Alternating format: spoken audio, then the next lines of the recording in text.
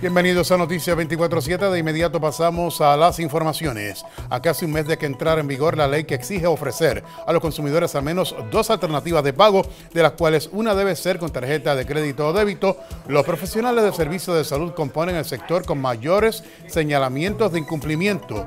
Así lo reveló hoy el senador Luis Daniel Rivera Filomeno, quien advirtió que a pesar de que aún no existe reglamento para la ley, quienes incumplan con el estatuto podrían incurrir en delito menos grave, exponiéndose a recibir una multa de al menos 500 dólares.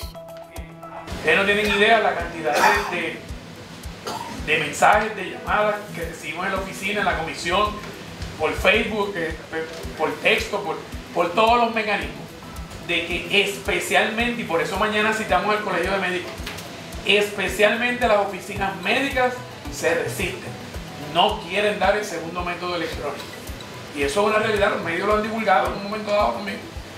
Así que lo que yo necesito de Hacienda es tirarnos a la calle. Vamos para la calle a hacer valer esa ley. Pasando a otros temas, el municipio de Cabo Rojo hizo entrega de vales educativos a familias de escasos recursos para la compra de artículos escolares. La inversión es alrededor de 10.500 dólares eh, que hacemos en total, ¿verdad? Para estos 350 participantes y fluctúan desde 30 dólares hasta 120 dólares por eh, familia, ¿verdad? Dependiendo eh, cuánto el componente familiar es que depende de los vales que se le van a dar. Según explicó el primer ejecutivo municipal, Roberto Bobby Ramírez, las ayudas se dan de cara al periodo de venta de uniformes y materiales escolares libre del pago del impuesto sobre ventas y usos. Se indicó además que los vales otorgados no están atados a un solo comercio, por lo que las familias caborrojeñas tendrán libre selección al comprar los materiales escolares. Y después de varios años en rehabilitación, los manatíes Aramaná y Yuiza regresaron al mar hoy.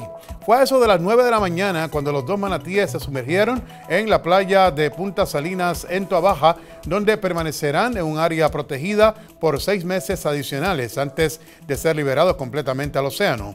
Se trata de la primera vez que se liberan dos manatíes al mismo tiempo en los 26 años del Centro de Conservación de Manatíes de Puerto Rico. El regreso al mar se produjo debido a que ambos cumplieron con los requisitos de medir sobre 6 pies de alto y pesar más de 550 libras. Para ver estas y otras noticias visita nuestra página wpr.pr y síganos en nuestras redes en Facebook y Twitter.